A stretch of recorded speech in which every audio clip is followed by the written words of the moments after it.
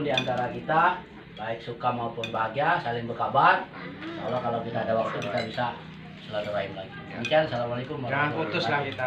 Waalaikumsalam warahmatullahi wabarakatuh. ya yang penting silaturahim kita jaga kemudian adik-adik juga nih Kak Sar ada dari berapa adik-adik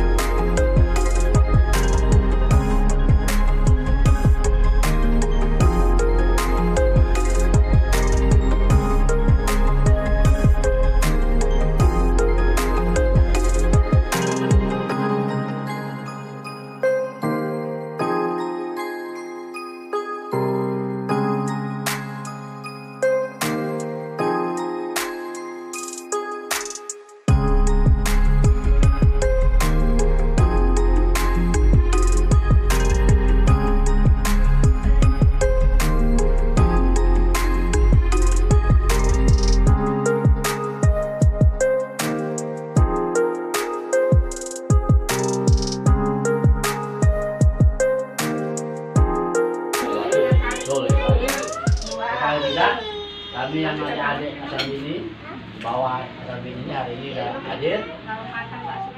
Beberapa hari kita komunikasi.